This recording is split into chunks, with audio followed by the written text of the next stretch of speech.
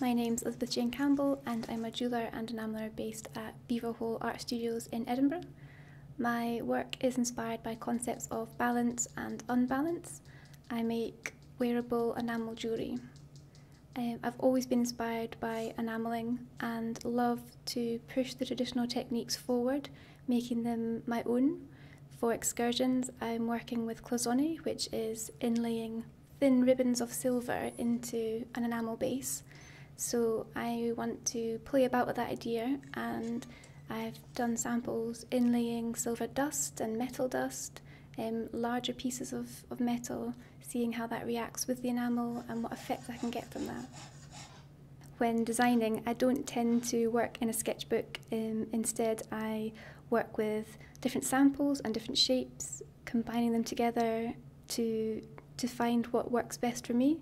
So different colours, different shapes, what works nicely.